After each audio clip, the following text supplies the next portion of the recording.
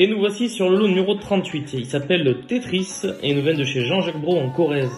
Il est né le 23 mars 2022. C'est un animal de type extrême viande avec de très très bonnes facilités de naissance. Le vrai taureau à génisse. Le père c'est Okapi qui était né dans l'élevage Bro. Derrière c'est les origines de chez Cathy Paturo avec le célèbre Vivaldi et on retrouve derrière le taureau Omar.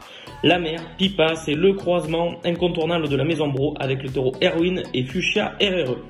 Tetris est donc un très bon animal de type mixte viande avec un super quartier arrière parfait sur ses pattes, fin d'os, épais dans son dessus, c'est un animal très complet avec une très bonne gueule.